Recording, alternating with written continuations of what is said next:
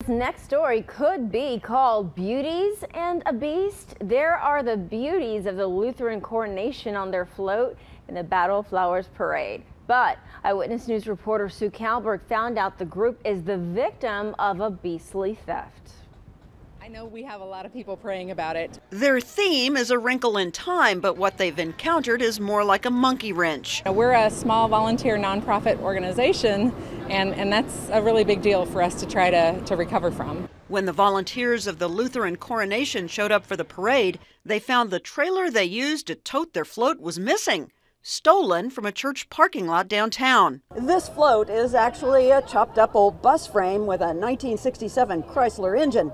Great on the parade route, not so much on the open road. That's why they need the trailer back. It's pretty sad.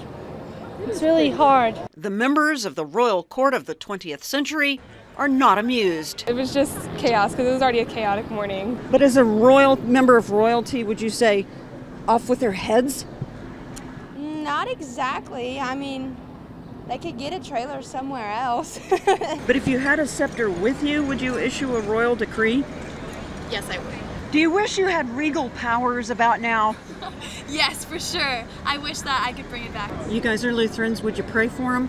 Yes, for sure. And just please, just please bring it back. It would really mean a lot to us. We just, we want our float back. They do 17 parades all over Texas every year. So in case their prayers aren't answered, uh, we're looking to replace a 25 foot uh, vehicle trailer.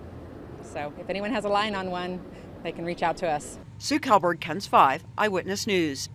Who steals a float? Well, at KENS5.com, you'll find a link to the GoFundMe account. They started to raise money to buy new trailers so that they can be on the road to Corpus Christi by next weekend.